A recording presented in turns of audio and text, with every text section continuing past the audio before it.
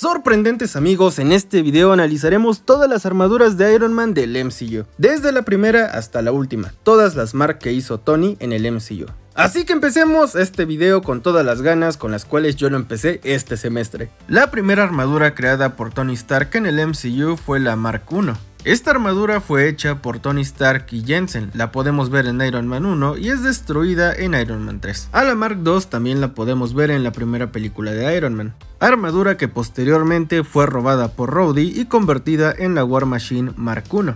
Me encanta el color plateado en esta armadura, se me hace muy elegante, la neta es que me encanta este diseño. Antes de los eventos de la primera película de los Vengadores, Tony le retira toda la tecnología de Hammer Industries a la War Machine Mark I, volviéndola a convertir en la Mark II. La Mark III es la armadura principal de Iron Man 1 siendo la Mark con la cual Tony se enfrenta a Obadiah en el complejo de Stark Industries, quedando sumamente dañada. Y aunque la armadura es reparada, Tony solo la termina utilizando de adorno, ya que para los eventos de Iron Man 2, la Mark IV se hace presente. En esta película tenemos tres armaduras diferentes, también podemos ver a la Mark V, la cual es utilizada como una armadura de viaje, y la neta es que llevarla en un maletín se me hace muy práctico y me encanta esta armadura.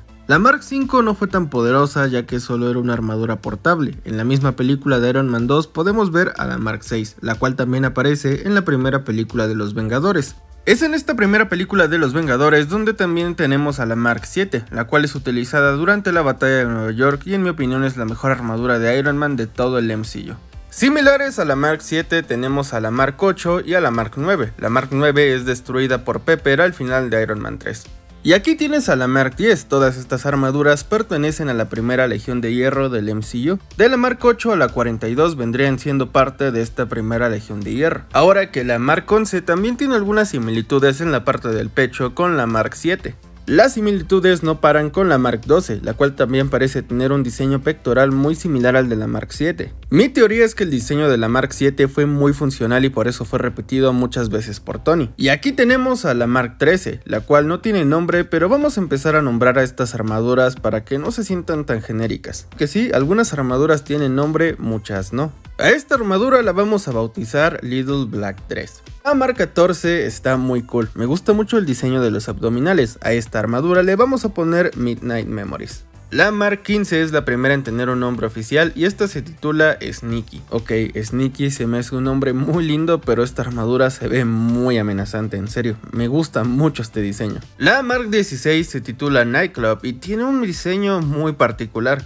Lo que llama más la atención de esta armadura son los pequeños detalles de iluminación en los hombros y en las piernas. La Mark 17 es toda una rompecorazones, de ahí su nombre, Heartbreaker. Esta armadura tiene un diseño muy cool, vagamente recuerdo que me encantaba jugar con esta armadura en el videojuego para celulares de Iron Man 3. La armadura número 18, titulada Casanova, tiene un repulsor arc muy grande, siendo el que yo creo es el distintivo característico de esta marca. La Mark número 19 titulada Tiger tiene colores muy distintivos, la neta es que no soy fan de la combinación, pero la Mark llamada Python vaya que sí está cool. Aquí se repite el modelo pectoral de la Mark 7 y tiene un color cobre con negro que la hace ver una armadura edgy. La Mark número 21 es una de esas raras armaduras que puedes encontrar en Marvel Legends titulada Midas. Es una armadura completamente dorada que vaya quisiera tener en Marvel Legends. Otra Mark que también está disponible en Marvel Legends es la Hot Road, la cual sería la Mark 22. Para mí esta armadura es una combinación entre Optimus Prime y la War Machine Mark II. El diseño de la Mark 23 me intriga mucho, ya que parece tener una tonalidad muy militar, muy camuflajeable. La neta es que la armadura titulada Shades me gusta. La Mark número 24 es una horrenda armadura que se titula Tank. Si bien el diseño del pecho está interesante, los colores no están padres. Bautizada Striker, a la Mark 25 la podemos ver de hecho en Iron Man 3 en una escena que no puedo poner. Y esta armadura también es de las favoritas del canal. El diseño que tiene en las manos es muy distintivo. Película se rifa. Una armadura que me hubiera gustado ver adaptada al cine es la Mark 46, titulada Gamma. La cual si bien técnicamente aparece en Iron Man 3, no la podemos ver en acción como se debe. Y es que es una armadura muy bonita. La Mark 27, titulada Disco, tiene una paleta de colores que se parece demasiado a un vagón del metro que va a la Fe Zaragoza. Los colores se me hacen muy llamativos y también tiene un diseño muy similar a la Mark 7. La Mark 28 llamada Jack sí tiene un nombre muy raro. Tiene una paleta de colores muy característica, la neta no la odio ni la amo. Se me hace una armadura muy X. Igual de X que la Mark 29, titulada Fiddler o violinista en español, esta es una Mark que la neta no me gusta mucho. Pero si una Mark me encanta es la 30. Blue Steel es una armadura preciosa, solo mira esos colores bro. Es inaudito que esta armadura tenga un diseño tan bonito y no haya brillado en la pantalla grande. Simplemente magnífica. La Mark titulada Piston tiene una paleta de colores que la hace ver mucho como uno de los Doom bots del Doctor Doom, y también tiene un diseño pectoral muy similar al de la Mark 7. Es que la Mark 7 es perfecta, bro. La Mark 32 titulada Romeo pasa sin pena ni gloria. De Romeo no tiene nada. Y una Mark que sí tiene todo de Romeo es la Silver Centurion. Es perfecta perfecta, en serio, esta armadura es preciosa. La Mark 33 debió de haber participado más. No sé de dónde reconozco. Ah, ya sé, ya sé, es que a un amigo le regalaron esta armadura en Lego. Yo me acuerdo que su ex liga le regaló una bolsita de Lego donde venía esta armadura y la estuvo presumiendo porque la neta sí estaba muy cool. La Mark 34 titulada Southpaw tiene un diseño muy característico ya que en el brazo izquierdo la podemos ver con un aditamiento que la diferencia de las demás armaduras, la parte superior también la hace notar mucho. La armadura bautizada Red Snapper tiene un diseño muy característico, yo creo que hubiera sido más fan de esta armadura si lo hubieran llamado Don Cangrejo. La Mark 35 está curiosita, a la Mark 46 la llamaron Peacemaker y la neta soy fan de este color, no lo hemos visto tanto en estas armaduras y me gusta el diseño del repulsor ya que tampoco lo hemos visto tanto. Llamada Hammerhead, la Mark 37 tiene un diseño muy característico con un color muy distintivo. También conocida como Mark de buceo, es una armadura que fue diseñada especialmente para soportar las altas presiones de la profundidad del mar. Lo crees o no, esta armadura formó parte del arte conceptual de la primera película de Iron Man, siendo conceptualizada en el 2007 junto a la armadura de sigilo por Phil Sanders. La armadura de sigilo en el MCU vendría siendo la Mark 16 Nightclub, la cual fue rediseñada por Andy Park. A la Mark 38 yo la confundía con la Hulkbuster, pero no, se llama Igor y la podemos ver en Iron Man 3. Una de mis armaduras favoritas de Iron Man es la Star Boost, a la cual también podemos ver en Iron Man 3 y se rumoreaba que iba a ser la Mark que Tony iba a utilizar para conocer a los Guardianes de la Galaxia, ya que se decía que la escena post créditos de Iron Man 3 era eso, Tony conociendo a los Guardianes de la Galaxia. Los rumores en esos tiempos eran raros. La Mark 39 fue especialmente diseñada para viajes al espacio. En serio no saben lo mucho que amo el diseño de esta armadura. Me encantaría tenerla en un Marvel Legends porque en Hot Toys está demasiado cara, aunque estoy ahorrando para ver si algún día logro compararla. La Mark 40 titulada Shotgun fue una de las marcas especiales de Tony Stark, ya que esta se hizo especialmente para resistir altas velocidades. La armadura fue desplegada durante el Host Party Protocol y fue destruida con el Clean Slate Protocol. Canónicamente en el MCU esta sigue siendo la armadura más rápida, llegando a rebasar velocidades de Match 5. Mark número 41 fue llamada Bones, lo sorprendente de Huesitos es que es una armadura que puede desprenderse y volver a unirse, de ahí su nombre. La Mark 41 tiene una tecnología muy similar a la que podemos ver en la Mark 42, que son armaduras que van directamente al usuario, las cuales se pueden ir ensamblando pieza por pieza. Si eres seguidor de este canal sabrás que la Mark 42 es una de las favoritas de un servidor. Me encanta que el color dorado sea más prominente pero no se olvide del color rojo escarlata. La Mark 42 no tiene nombre así que la vamos a bautizar What Makes You Beautiful.